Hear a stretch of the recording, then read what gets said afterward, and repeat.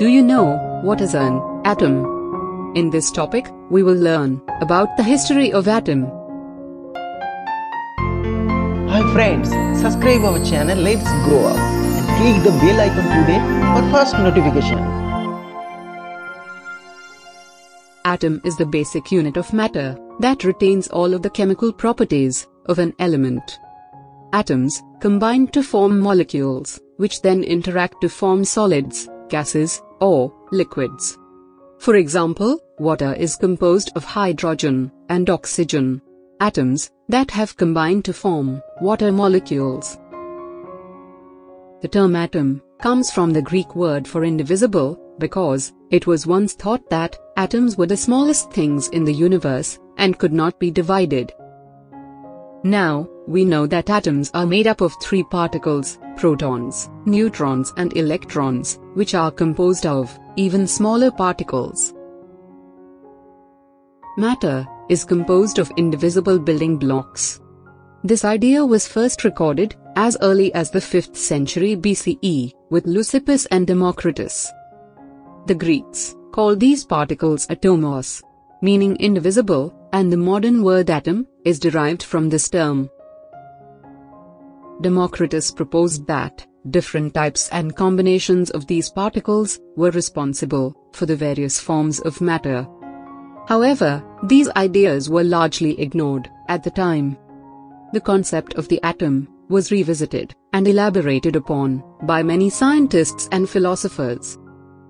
However, the English chemist and meteorologist John Dalton is credited with the first modern atomic theory.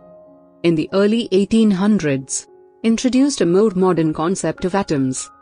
He noticed that atoms always combine together as whole numbers to form molecules and compounds and not as a fraction or a decimal number. He named this observation the atomic theory. After a few years later, in 1897, J.J. Thomson was the first scientist to discover a subatomic particle, the corpuscle, which was later named the electron. In 1911, Ernest Rutherford developed the nuclear model of the atom. In this model, he explained that the majority of the atom's mass is concentrated at the center of the atom, holding positive charge, while the electrons float around it in well-defined circular orbits. He called the positively charged center nucleus. He explained that the space between the nucleus and the electrons were huge in proportion to their size. Just two years later, in 1913, this drawback of Rutherford's atomic model was enlightened by Niels Bohr. This was the greatest achievement in the journey of understanding atoms. He proposed that the electrons in an atom existed only in specific discrete orbits, or shells, and no electron could exist outside these shells. This model was also compared to the solar system. Also, he declared that the different shells were unique with fixed energy levels.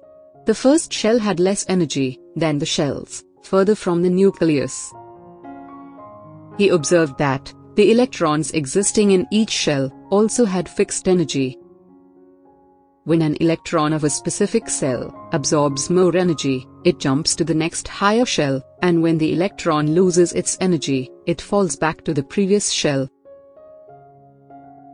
He also introduced the theory that each shell could hold a specific number of electrons. This was explained by naming the shells alphabetically from K, L, M, N, and so on.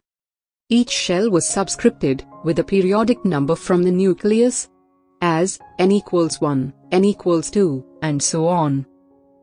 He provided the formula 2n2 to determine the number of electrons in each shell. For example, in the first shell Kn equals 1, the number of electrons would be 2x12 equals 2. And, in the second shell Kn equals 2, the number of electrons would be 2x22 equals 2x4 equals 8. So, he concluded that the electrons revolved around a positively charged nucleus in fixed orbits. Even though the Bohr's model was widely accepted and formed the base of several scientific innovations. In 1926, Erwin Schrödinger, an Austrian physicist upgraded it and founded the quantum mechanical model of the atom. He observed that the electrons were not particles, but waves. He did this by mathematically stating that the possibility of finding an electron at a specific position inside the atom was uncertain. So, it must act like waves. Till 1932, it was believed that the atom consists of a nucleus with electrons surrounding it. But, Sir James Chadwick performed an experiment by bombarding beryllium atoms with alpha particles. This experiment produced radiation consisting of unknown particles, having a neutral charge, and mass almost similar to protons. This particle was named neutron. The discovery of neutron paved the way to the development of many successful scientific inventions, including the atom bomb. We will learn the Chadwick's discovery of neutron in the next video. Hi friends, subscribe our channel Let's Grow Up and click the bell icon today for fast notification.